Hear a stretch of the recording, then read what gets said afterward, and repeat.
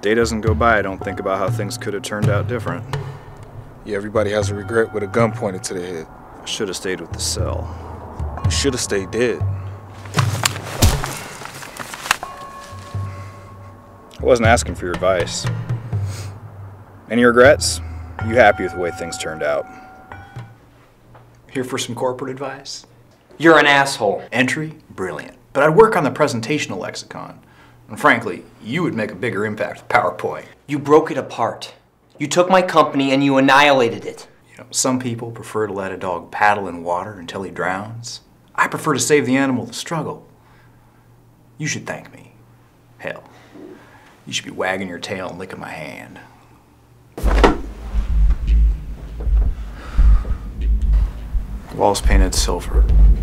Nice homey touch. I'm practically the Martha Stewart of vampire hunters. That's a gross comparison. She's boring and silly. Look at you. You're stunning. I'm also going to kill you. Shh. It's a shame to bring up old wounds. I loved you. You loved me. And now you hunt my kind in the dead of night. It appears you may have won. You have yet to drive the stake into my heart.